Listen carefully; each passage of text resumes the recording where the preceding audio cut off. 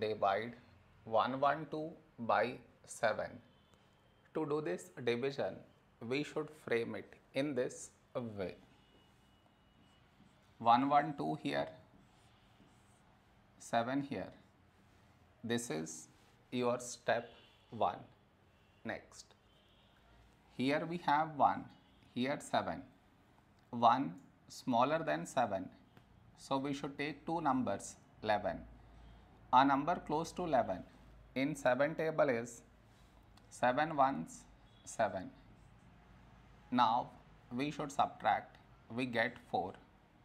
After this, bring down the beside number, so 2 down, so 42. When do we get 42? In 7 table, 7 6 42. Now we subtract, we get 0.